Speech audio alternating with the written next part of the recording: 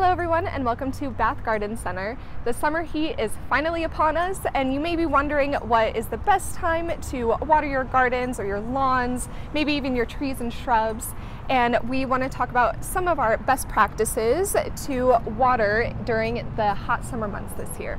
If you actually water at some of the hottest parts of the day, your soil is going to lose a lot of that water that you just put into the ground. It's actually going to evaporate maybe up to 50% of that water that you just watered with. So our recommendation is to water during the morning time when it's a little bit cooler or water in the evening. That gives your soil enough time to soak up the water and really penetrate the roots of your plants, which is really what we're going for here, a deep watering rather than a light, shallow, quick watering.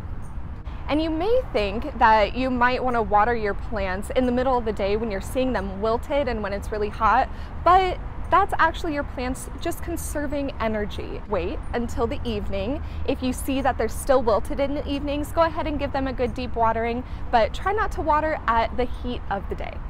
When we water, we want to try to keep our water to the soil rather than watering overhead on our plants.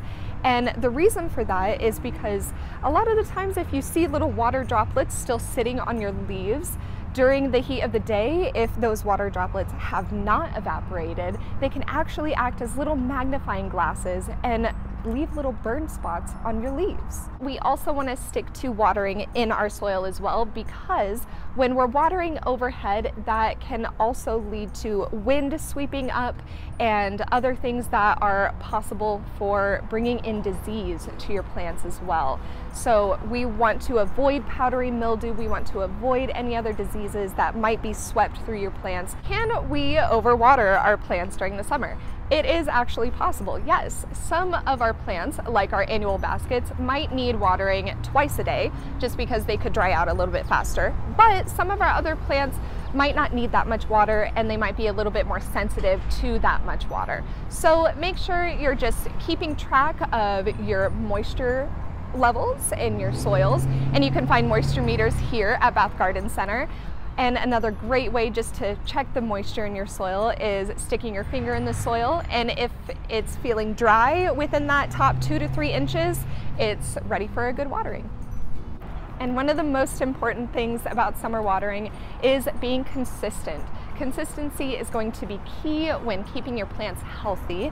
So whether you are watering by hand with a hose or you have a drip irrigation system, Setting your timer with your irrigation system in the morning or in the evening is going to be best and just making sure you're hand watering at those times as well and giving it a nice deep soak, a slow deep soak every morning or every evening instead of that fast and shallow watering. We really want that uh, water to penetrate your roots. Now all of these are best practices whether you are taking care of your trees and shrubs, your annuals and perennials, or even your vegetables and fruits that are in your garden. Uh, all of these things that we have just mentioned are great tips that can help your plants survive throughout the summer months.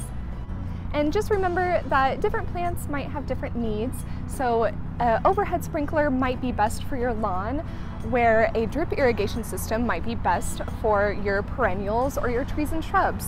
So if you ever have any questions on how to water your plants, please let us know at the Garden Center or drop a comment down below and we would be happy to answer your questions. Thank you for watching and we hope you have a great day. One moment. Lost my words. Here at the Garden Center.